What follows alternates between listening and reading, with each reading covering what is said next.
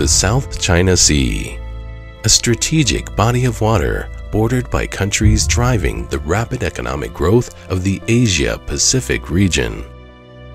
It is also a global center of shallow water tropical marine biodiversity and is central to defining environmental sustainability and food security in the region. However, more than 300 million people living in coastal areas of the South China Sea have been identified as being at the highest risk globally from increasing rates of coastal and marine environmental degradation and the overexploitation of fish stocks. Reversing these trends will require regional cooperation and growth for long-term sustainability. A challenge made more complex by the unique geopolitics of the Southeast Asian region.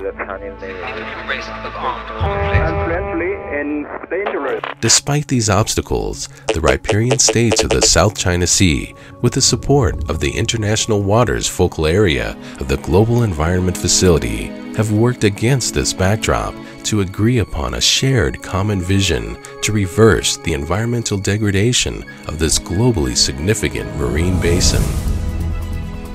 The initiative coordinated by United Nations Environment and involving more than 400 regional and national level organizations has so far resulted in the intergovernmental adoption of the Strategic Action Program, or SAP, for the South China Sea.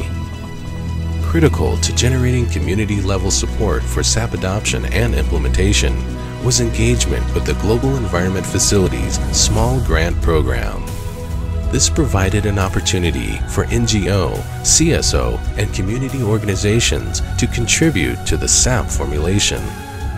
The result of this collaborative effort was a comprehensive and locally relevant strategic action program that addressed priority needs for action.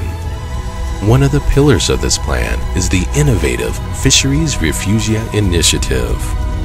Leading the way in the implementation of these priority fisheries actions is the Southeast Asian Fisheries Development Center, or SEAFDEC, which is working with the region's Department of Fisheries to develop partnerships with the environment sector.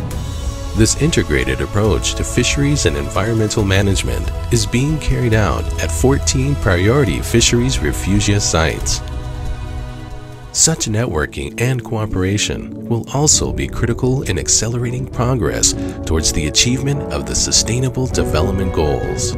With the execution of the SAP, significant environmental stress reduction will be brought about, particularly in terms of safeguarding critical coastal and marine habitats, making a globally significant contribution to SDG 14, Life Below Water while simultaneously contributing to sustainable development goals relating to the elimination of hunger and poverty and promotion of gender equality.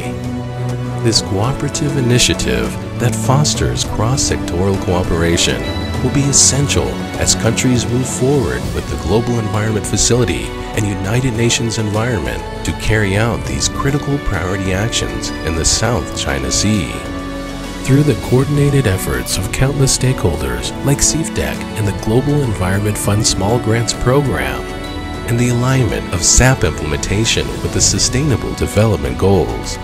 The region's countries may yet mitigate the dire circumstances the South China Sea faces, ensuring the ongoing provision of its vital ecosystem goods and services, and improved quality of life for generations to come.